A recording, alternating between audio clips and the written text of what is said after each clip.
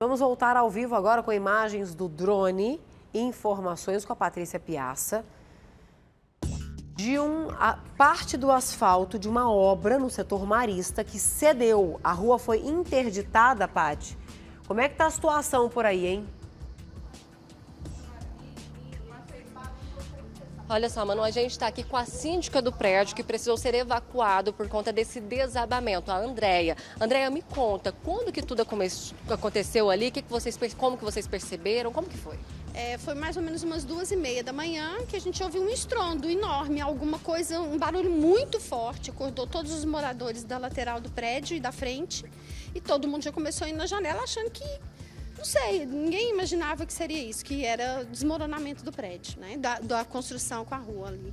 E é uma construção que já tem pouco mais de um ano, né? Desde o início vocês tiveram problemas com essa obra, já tinha feito inclusive um termo de ajustamento e conduta ali junto a um advogado, né? Explica pra gente por que desse termo e quais eram esses problemas. É, surgiram algumas rachaduras é, no decorrer da obra, principalmente na fundação, e a gente chamou a parte deles, né, é, da engenharia, para verificar e foi detectado nesse termo e que e acordado que agora no começo do ano eles arrumariam aquilo. Já tem algum, alguns problemas de rachadura. Nesse desabamento de hoje, antes de, vo, de vocês saírem ali, deu para perceber mais alguma rachadura, algo ainda pior? Deu sim, a gente estava notando o o passeio todo trincado, levantado, né? E um barulho de água constante. Antes do desabamento. É, antes do, Não, isso já tem assim mais de duas semanas ou três semanas que isso está acontecendo, que o, o, é, o passeio todinho estava levantando e dobrando e a gente via que até a, a, tela de proteção que eles tinham colocado, ela já estava meia fora do lugar. Então estavam desconfiados de alguma coisa. Nós já estávamos preocupados. Mas não imaginavam o que iria acontecer. Não, de forma nenhuma. Agora, como que se sente? Porque todo mundo teve que sair de casa, né? Para onde que essas pessoas foram? A construtora tem dado apoio nesse ponto? Tem sim, tem dado apoio. Nós todos, as pessoas que não têm outro local aqui em Goiânia, está todo mundo hospedado no hotel. Eles nos levaram, fizeram nosso check-in, nós estamos lá até a posição deles se a gente vai poder voltar ou não. Todo mundo muito assustado, né? Antes, inclusive, a gente estava conversando aqui, você bastante emocionada, porque é uma situação complicada. A sua casa que está em risco ali, né? É, da minha casa, da minha mãe, da minha tia. Nós somos, assim, é, pessoas que moram aqui há muitos anos, né? Então é muito difícil, é muito difícil. Aí os moradores do prédio estão ligando, quem tem apartamento alugado, ligando, perguntando como é que tá, o que está acontecendo. Pelo amor de Deus, está todo mundo muito assustado, muito assustado, bastante. Por enquanto vocês ainda não têm uma resposta de como vai ficar a situação? Nenhuma resposta, ainda não. Nada, nada.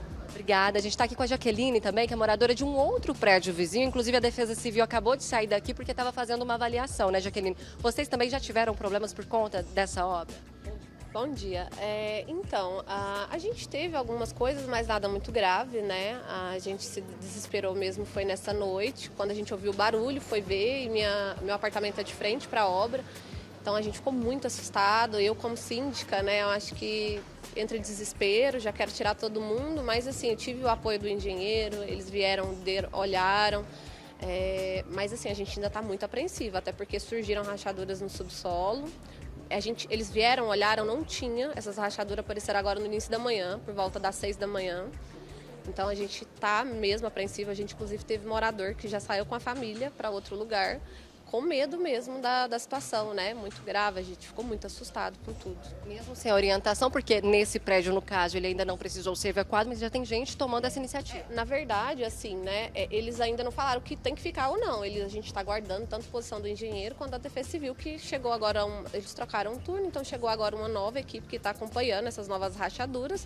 Então a gente está aguardando aí o parecer da Defesa Civil e do engenheiro também. Ele ficou de dar, passar uma posição para a gente se vai ser necessário ou não evacuar que se sente, sabendo que tem o risco de ter que sair de casa por conta de uma obra que já estava apresentando problemas há algum tempo para os vizinhos? Ah, é bem. É, é um transtorno, né? Ah, assim, eu já perdi uma noite de sono, que a gente está acordado aí acompanhando várias pessoas que precisam viver, engenheiro, morador, uh, e muita insegurança. A gente fica com muito medo. Nosso prédio está do lado aí de uma, de uma vala enorme, né? Então a gente fica muito inseguro, todo mundo. Muito obrigada pelas informações. Manu, para quem está chegando agora, a gente reforça que esse desabamento aconteceu por volta das duas e meia da manhã, aqui na rua 1128, no setor marista.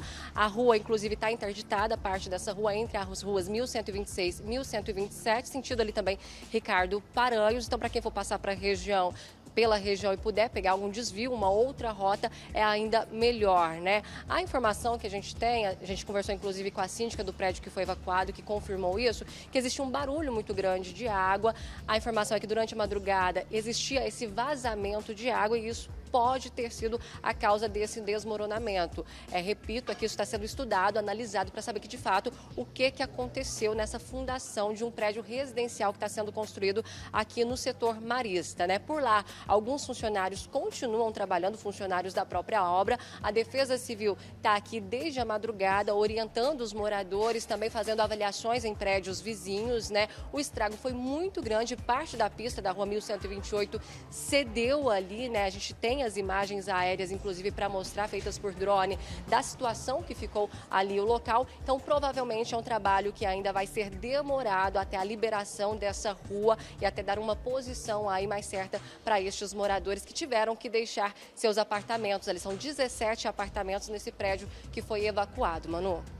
Paty, a gente está vendo agora imagens ao vivo do drone e é impressionante como é colado, né, gente? Parece assim, é claro, quem sou eu para dizer isso e, e, não, não temos uma precisão, mas não sei, talvez. O que, que tem ali, gente, de, de, de, terra entre o prédio e o buraco? Um metro? É isso, mais ou menos? Olha isso, olha o tanto que é pouquinho ali, né? É, é como que a gente pode dizer? Essa segurança ali de um para o outro. É como se tivesse quase que, que construindo colado ali ao lado, né? Pelo menos o buraco começa ali quase colado. Drone, vai para o outro prédio do lado de lá para a gente mostrar. Porque o drone mostrou também o prédio do lado de lá, também do ladinho, né? Do lado de lá, aquele outro que você mostrou, ali ó, tinha um muro, aí parece que tem um corredor lateral do prédio, isso, esse aí. Tem um corredor lateral do prédio, mas é do ladinho, assim, olha só, gente, olha a parede. A parede desce ali, ó, já tem. É como se não tivesse, vocês estão percebendo? A parede do, do prédio ali, ó, o muro do prédio, tem, a, tem o prédio, aí tem um, o muro do prédio e, e, é isso, já começou ali a, a, a, obra. Quem sou eu, tá? Não sei o que é permitido, o que, não é. Isso é estudado por engenheiro, por, pelos construtores, tem autorização de prefeitura, mas assim, não dá medo de olhar uma coisa dessa, gente? Eu, eu, como uma pessoa que não entende nada disso, tenho medo. Agora, só para vocês situarem, drone, sobe mais um pouquinho, por gentileza, para a gente mostrar. A 1128 é onde está, aqui está interditada. Do lado de lá, isso aí, ó. É a 136 chegando na Avenida 85, tá bom? Tem inúmeras galerias, tem uma farmácia ali, tudo isso que faz divisa, se é que a gente pode dizer assim, com este prédio, com essa obra, tá? Então, para você, telespectador, se situar de onde é, para você evitar passar pelo trecho, tá bom? E claro, a gente vai atualizando vocês aqui o dia todo de como que tá a situação. Até porque isso nos preocupa, né? E preocupa todo mundo que tem obra em volta, porque todo mundo já começa a pensar, será que estou correndo o mesmo risco, né? 7h51 da manhã, são imagens ao vivo. A qualquer momento a gente volta com mais informações lá do local com a Patrícia Piaça, com o nosso drone, com imagens do Ney, o nosso cinegrafista.